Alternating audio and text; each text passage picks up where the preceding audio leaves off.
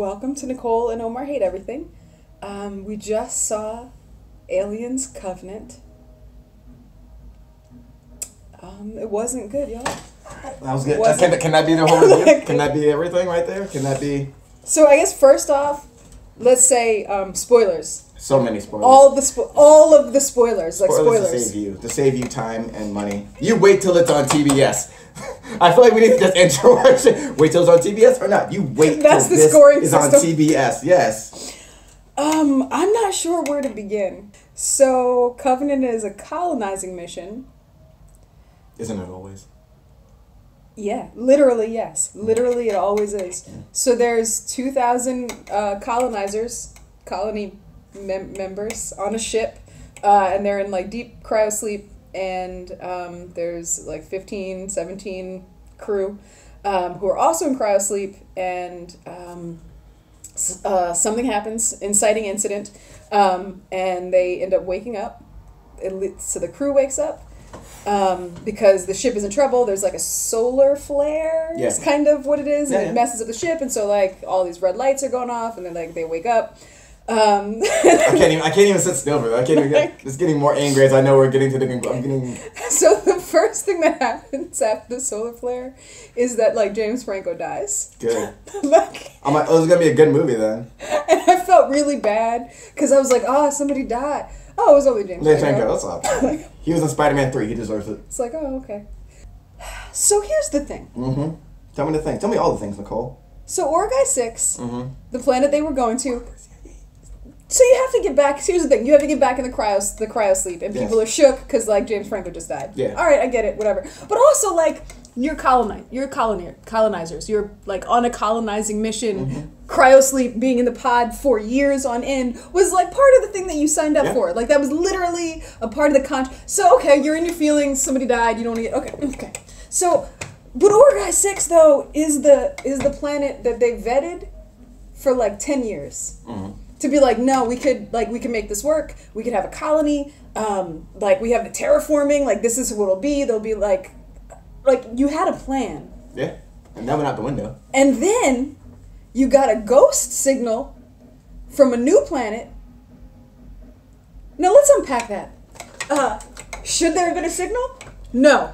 Same answer to should we go to that planet? Still no. A So, signal singing John Denver. No a sig-. John Denver. So it's a human signal where there should be no signal at all, No. let alone no humans. So you decide, I'm going to go investigate that. So also, I get that you're colonizers, but doesn't the fact that there's a human signal imply that maybe some people already lived there? So why would you take your big ass colonizing ship to a place that all the data points to there's probably people there? They arrive on the planet and they're investigating it and they're tracking the signal down. Um, you have a medic. You got a bunch of soldiers, and you got like people like you know farming, uh, checking out the uh, the, the the the mud and whatnot, and all that shit, the the environment, and the vegetation, the foliage and whatnot. And so one woman gets left behind. Our ambiguously ambiguously uh, person of color gets left behind. A woman, and she's checking out the uh, mud and whatnot. The crew goes up ahead. One dude is left. Uh, one army soldier is left with her, and he steps on the spore, and the spores get all up in his shit. Why was he able to step on a spore and the sto- spore to get all up in his shit? Oh, wasn't he taking a dump? Uh, he, he was relieving himself in Oh, some oh, fashion. oh, oh. But you know how like when you go to a new planet, I mean I've never been to a new planet, but I assume if I go to a new planet, I'm gonna have like a head Mm-hmm. A gear to filter the air because you know I've never been there before. I'm a Vogue Um, headgear. So no, they were just like, Fuck that. what's like the facial equivalent of freeballing? Mask off. they were just it was just Future. Mask off. just Fuck it. Mask off. commando style mm-hmm. face. I want to breathe. They're like, no, no, no, no, no. Oh, This all will make me stronger. I'm gonna freebase this air right now. I feel like you guys trained for this, and this is this is this is not the Maggie preps the med bay best she can, right?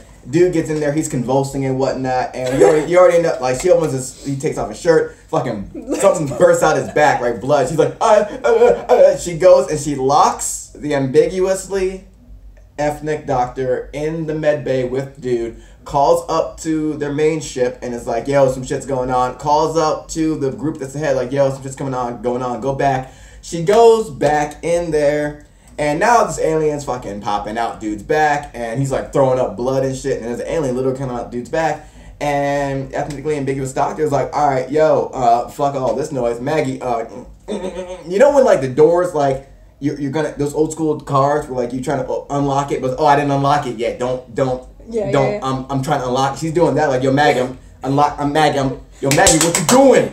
Maggie, what you Maggie? I can't, I can't let you out. I can't let you. No, you actually could let her out, Maggie. You could have let her out because she wasn't infected. She wasn't just got some blood on her. You. You could have. You could have let her out. I see what you're going for with the white tears, but you could. You could have let her out, Maggie.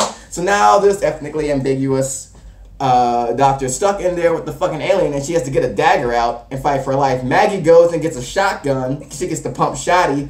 Comes back, sees Slips her in blood. Slip, slips in blood, mind you, sees the the doctor getting attacked, then comes in with the shotty after falling on her ass, shooting, missing, and then goes back outside, maybe clips it a bit, and then hits the fucking. She hits the. No, you're forgetting. This is how inept she is. She locked the doctor Oh, in there yeah, on yeah. purpose because she could have been like, "Let's go," Yeah. but instead she just was like, She left like. she left her on purpose. Went and got the shotgun. Came back, slipped in blood. On the way back, when she was abandoning the doctor for the second time, Yep. got her foot stuck in the door. Yep. Pulled it out. Then the creature got out. Oh, creature bursted out. Maggie hit a fucking pipe valve and blew the whole ship up. So Maggie is fucking trash. Maggie is this all went down because a white woman fears and tears, dude. It is horrible. I'm like, I'm already just, I'm already hoping you all die right now. I'm already hoping you all die right now. Like if me and you went paintballing this weekend, Yeah, man. we Like, would have a better military operation. Serious, like no, like yo, like they're all talking. About, I think I see something here. Like, where, where the fuck is? Where, where's all that shit? Where's all that shit? Where there's not one dude like. Is your military unit so trash that Yes. you managed to shoot each other, even though you had motherfucking la- you had green lasers? Yes. You had green fucking snipers. Because they, they all panicked. So Maggie, who was the trash woman who accidentally blew up the ship, Disgusting. her partner was flying the actual big ship that Mm. like and like at some point he was like, I know it's not safe, but I think I'm gonna bring this big ass ship all the way down into the atmosphere. Let's and the that. computer was like, Don't do it. Don't do it. The ship can't handle it. And he was like, But Maggie. Yeah. Mm, but We didn't leave Earth to be safe. I, I feel like that's the exact reason That's- we left Earth to be. Yeah.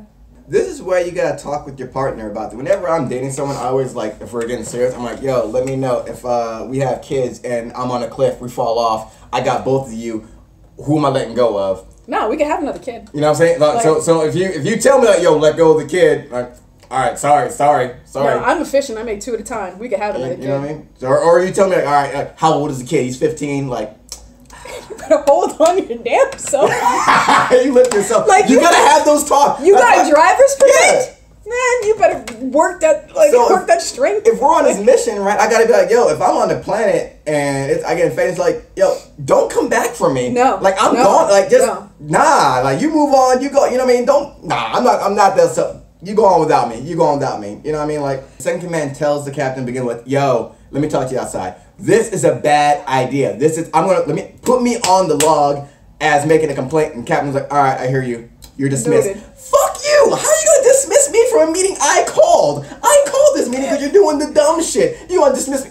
Everybody deserved to die on that. it- actually, the second didn't really deserve to die. She was kind of complaining, but she actually came through. She, like, a woman is actually the one that actually kind of like, she did the, mo- in the end, she does. She, I, I, I could give, I'd give her a on the gradient of like most trash to least trash. Yeah, she was Everybody's still being trash. Yeah. she's definitely on the least trash side of the spectrum. But that whole team, like you, I've I've never been happier to see a team like get murked off. I'm like, if you're if you're like, like if this was dodgeball, I'd be like, you know what, I'm gonna just hit you guys my fucking self because this It is was- like, let's just put us out of our own fucking misery right here. The cinematography was amazing. it though, was the way. beautiful. It was great Like, on the on the upside, it was really pretty. The ships were really well designed and believable, Lovely. so the sets were really nice. The aliens themselves were like vivid and terrifying, but also beautiful. Yeah, a good hint of CGI. It was like sculpted CGI, really. Mm-hmm.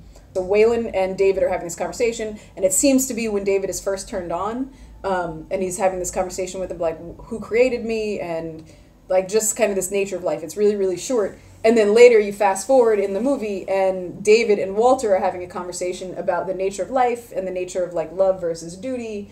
Um, and that was, it could have been a short film at South by Southwest Film Festival. Just five minutes of David Yeah. and Walter talking, and I would have had a better experience because their conversation was entertaining and interesting.